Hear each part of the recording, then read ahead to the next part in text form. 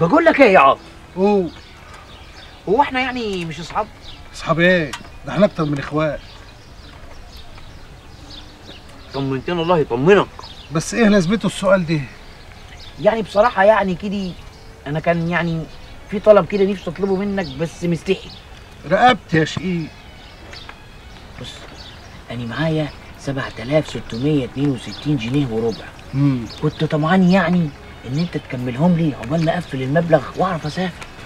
شوف يا كامل يا أخويا أنت فاجئتني وأنا مش عارف أقول لك إيه. عشان خاطري يا عاطف عشان خاطري. ليك وهتاخد وعليا وهديك. أول ما هسافر هلم المبلغ وأرجعه لك بالفوائد كمان.